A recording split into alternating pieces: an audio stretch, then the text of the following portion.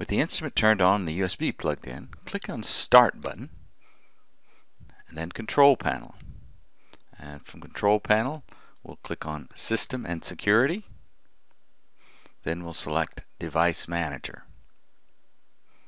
Inside of Device Manager, we're going to look for uh, the option for ports. We're going to click on the triangle and expand the ports option and we will find our Datacolor Portable Spectrophotometer COM15. So we'll note this for later on in the software.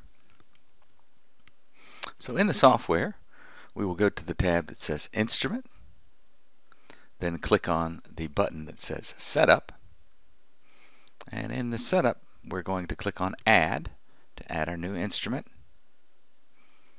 and then from the drop-down, we're going to click on our model number. Our model number for this is going to be Datacolor 850. And then we're going to click on the drop down to find our port number. And we noted from the software earlier that it was COM15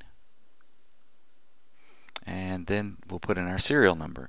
The serial number of the instrument will be on the back of the white calibration or green calibration tile. It will also be displayed on the instrument uh, display. Click on Add and the white tile values will be added from the instrument to the software.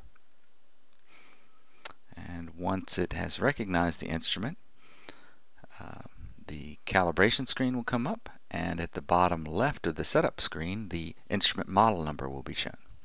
Then we can calibrate and test the instrument.